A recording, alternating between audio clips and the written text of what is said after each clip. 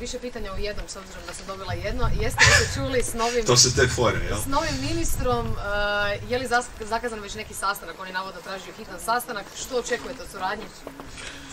čuli smo se jutros i dogovorili smo da se nađemo sa velikim delegacijama vezano na temu obnove od potresa i javnih zgrada i privatnih zgrada. Sastanak će biti u ponedjeljak.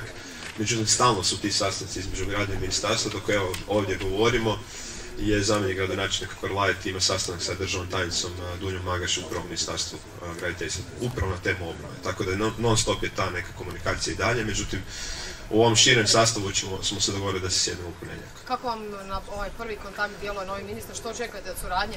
Pa očekujem, kao što sam i rekao, znači sa svakim ministrom, sa od kud god on dolazi, uvijek gradonačelnik grada Zagreba treba u interesu građana grada Zagreba ostvariti dobru suradnju i kontakt, a ovo je jedna od ključnih tema za grad Zagreb, to je obnova.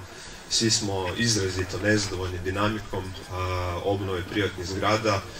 Isto tako znamo i da obnova javnih zgrada što se tiče financiranja i povlačenja sredstava iz Fonda solidarnosti bi trebala ići brže i u tom smislu očekujem da se tu stvari unaprijede jer ovo je doista zadnji vlak. Zadnji vlak i svi gube strpljenje više oko ovog i u tom smislu je veliki zadatak isto tako pred njim, a onda isto tako i pred nama da, iako grad Zagreb ponavlja, ne donosi odluke o obnovi, nego to radi ministarstvo, iako grad Zagreb ne provodi te odluke o obnovi privatnih zgrada, nego to radi fond za obnovu, mi smo ipak partner koji treba osigurati da ti radovi idu kako treba što se tiče prometa i što se tiče drugih komunalnih aktivnosti i isto tako ponavljam da grad Zagreb sufinancira obnovu privatnih zgrada i u tu svrhu je osiguran i novac u gradskom proračunu.